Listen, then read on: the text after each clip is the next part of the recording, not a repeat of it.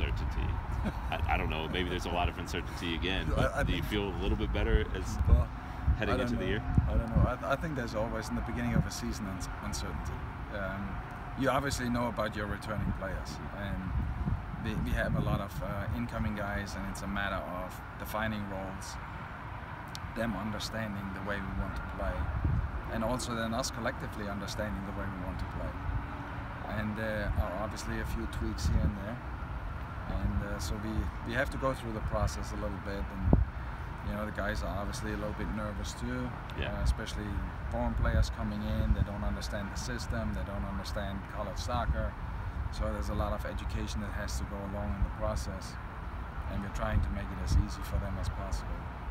When you look at how last year progressed, did that understand? I, when you look at the results, maybe it, it seemed early on that, that things were being figured out. I don't know from your assessment if you felt as comfortable at that point yet or not, but that understanding process, how long did it take before you felt like the team had a true grasp of roles and responsibilities? Yeah, no, it was it was pretty quick. Okay. a, a, lot of it is uh, our upperclassmen are real good leaders yeah. in, ter in terms of helping the coaching staff to be the coaches on the field.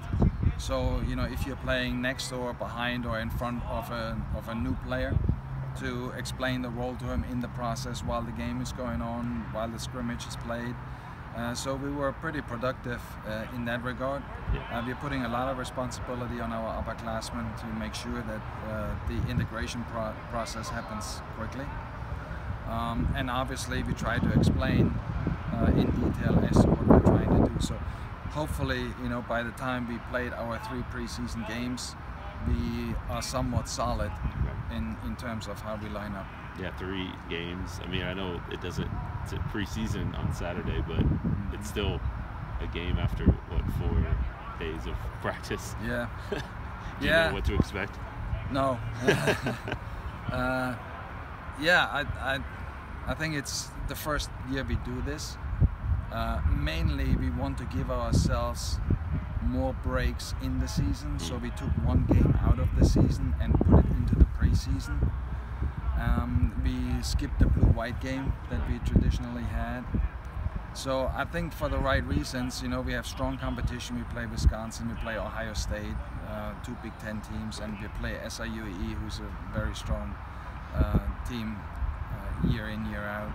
It will give us a, a, good indication as to where we stand with our players and, and who can do what.